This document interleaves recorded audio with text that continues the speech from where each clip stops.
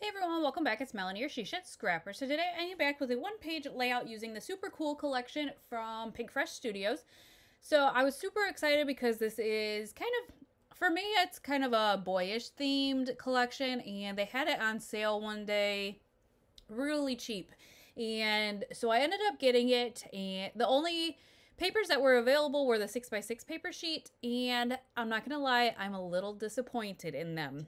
They are all really busy, um, and I wasn't really sure how to use them. So I am going to be using these four and I add a fifth sheet from the 6x6 paper pad um, to the layout. I am going to kind of stagger them like this. I decided to change those two because I felt like I wanted kind of a more solid pattern at the top there for whatever reason. Not that the stripes are that solid, but um, I felt like the words were too busy up at the top. So once I kind of get these taped down, I'm going to try to embellish and I'm not going to lie, this is not my favorite layout. I absolutely love the photo that I use and don't feel like the layout did it justice. Um, so I would love your opinion at the end maybe on ways to fix it. I feel like the layout's really busy for the photo. So I guess at the end, let me know what you feel. Um, if you feel like there's a way that I could fix it because the photo here is absolutely hilarious. We were in a shop and he decided to put on an alligator hat funny glasses and had a toy gun and just looked hilarious.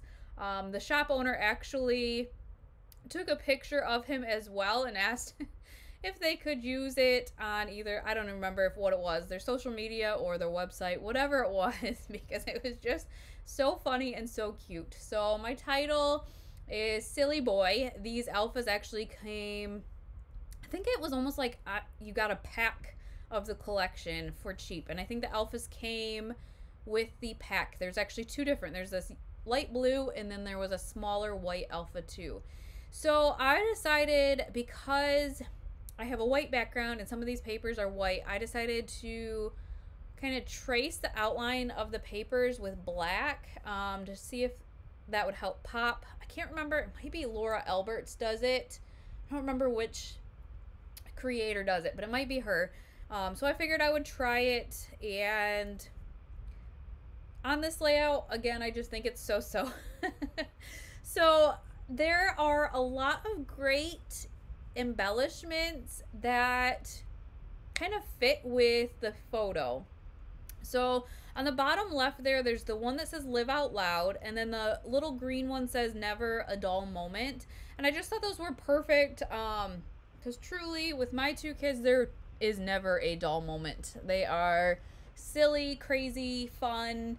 Um, and so I thought that was perfect. And then the live out loud, you know, he, I'm sure this will change as he gets older, but he's to be himself. He's to, I don't know, live out loud, I guess. So I just thought that was really cute. At the title there, I decided to add kind of two puffy stickers. There's a star to the right of the title, and then the little arrow, which I think it's supposed to be like a play sign, like play like on a DVD player or whatever, but I decided to flip it and so the arrow points down um, and I feel like in doing so it makes it so it doesn't look like it's supposed to say play. Um, the top left there I added a smaller cluster that kind of little tag that says hilarious, a puffy uh, camera. I think it's puffy. And then just a kind of a blank, um, I almost, I'll, I guess I'll call it like a journaling tag almost. Um, the circle tag there as kind of a base as well. And to kind of finish off my group of three. So here's where I add the fifth piece of six by six paper. Um, I decided to kind of make a strip to the left there because I did feel like it was too white um, on the left hand side of the page. And so I snuck this in underneath and then had to kind of trace around that kind of busy paper on top since I had done it already.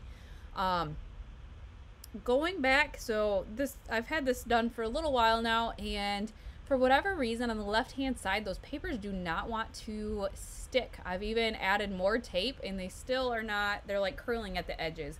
I think once I get them in um, page protectors it'll be better. Uh, but right now it's, I don't know, curling and I don't know. I guess I could like tape it and then maybe put like a thick book on it to make it lay flat. But I decided I wanted to fill in that upper left hand space a little bit be better. So I just shifted over the title a little bit and I felt like I liked that a lot better. One last thing is this bottom left just looked really plain, or the bottom right, sorry. Um, and so I decided to uh, use the strip of that pink and make it into a tag so it came out of the photo and then that just allowed me to use that as a base for another kind of embellishment cluster. So I guess when I say that it's busy, not only are the photos busy, but there were so many good phrases that I feel like I used a lot of words on this page as well. So I decided to use this make today count um, kind of I think it's acetate piece and I'm gonna glue that down and kind of make that into um, a cluster as well. So there is a circle again kind of the same color so again one of those kind of like plain circles. I just feel like it makes a good base for a good plain base for a cluster. So I use that and then find this puffy um, arrow that says so cool. So I'm playing around with that, but didn't like the two phrases. So I move the arrow up and then find another kind of round sticker that's that same play sign, but again, I point it down um, and tuck it in underneath the tag as well. Um, and just that is going to finish it off. That was a quick ending. Sorry about that. I must have cut it off. But that's going to finish it off. Let me know your thoughts. Let me know if you think it's too busy for the photo, what you would change, what you would do. I appreciate all your guys' comments and help. Um, and I hope you guys enjoyed, and we'll see you next time. Bye, guys.